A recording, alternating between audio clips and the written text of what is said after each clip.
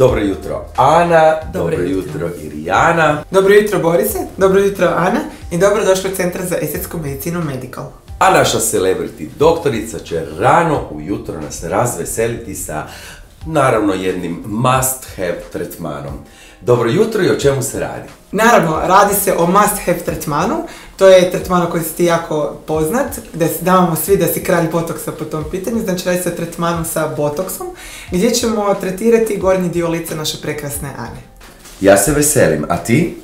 Pa veselim se da, to je jedno rano buđenje sa jednim prekrasnim botoksom.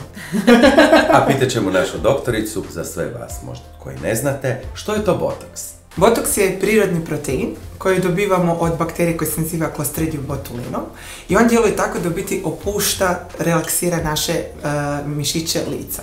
S obzirom da naše mišiće lica djeluju tako da svojim e, kontrakcijama, odnosno skorčavanjem navlače kožu, mi sa botoksom kada ih tretiramo ih opuštamo, oni prestanu navlačiti kožu i na taj način eliminiramo bore. Možeš se molim te namrštiti? Za naše gledateljice i gledatelje. Au. Krenimo s poslom.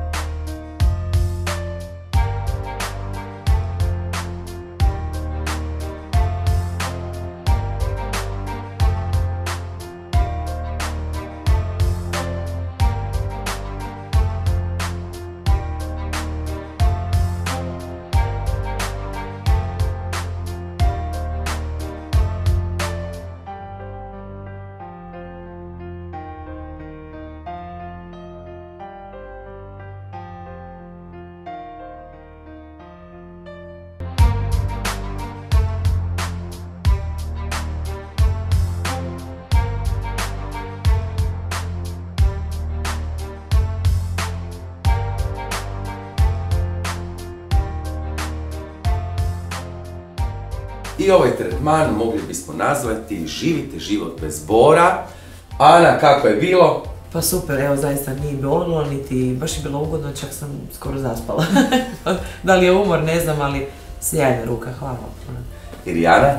Ana je savršena klijentica i ima prekrasno lice, tako da smo mi to bez pola muke riješili. Celebrity doktorica Irijana, hvala lijepo. A mi nastavljamo North Celebrity Makeover.